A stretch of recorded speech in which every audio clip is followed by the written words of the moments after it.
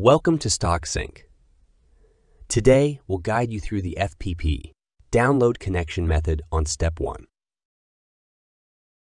Begin by entering your FTP credentials, the username and password. Next, input the host details such as host address placeholder. It's time to specify the file name and directory of your feed file. Use the format directory file name.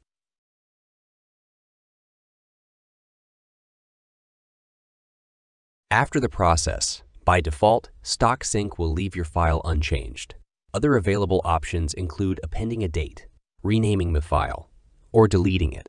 Now, select Test Connection to ensure a smooth link between StockSync and your FTP server. File format is automatically set to detect common types.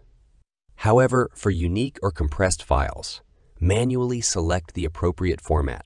Adjust the file encoding if your feed file doesn't match the default encoding. If your feed file starts with a header, enable the first row is header option. Once you've made all the necessary selections, simply click Next to continue.